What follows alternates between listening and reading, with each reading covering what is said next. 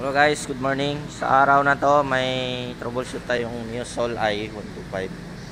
Ah, bale, palaging pumuputok yung fuse.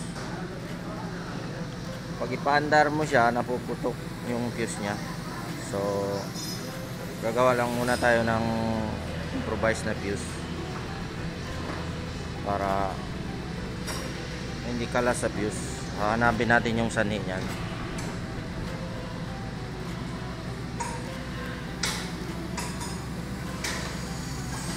Ayan, pagawa na tayo.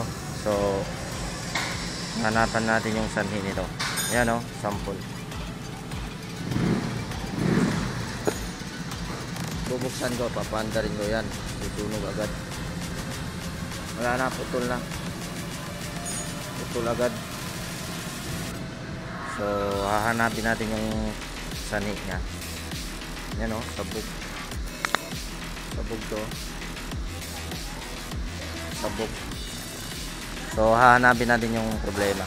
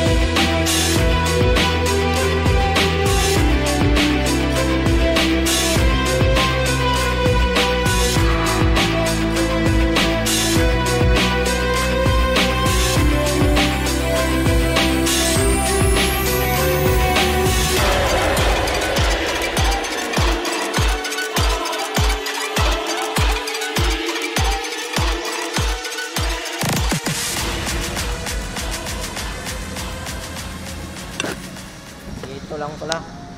Yung sanhi nito ano may spark na wire. Pinalitan nila ng bagong switch.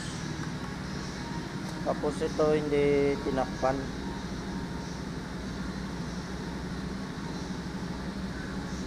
Yun o may marka tamaan ng kwan. Ganito lang siya oh. So pag i-on mo siya magkakaroon siya ng spark. Ano? Yan. I-spark siya. Kaya sumasabog yung fuse na natin.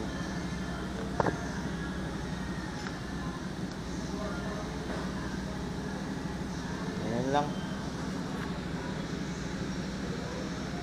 Hindi naman pala to troubleshoot eh. Hindi lang na naayos yung pinalitan sa labas. Sa labas sila sila lang kasi naglagay so yun lang. Sana may nakuha kayong aral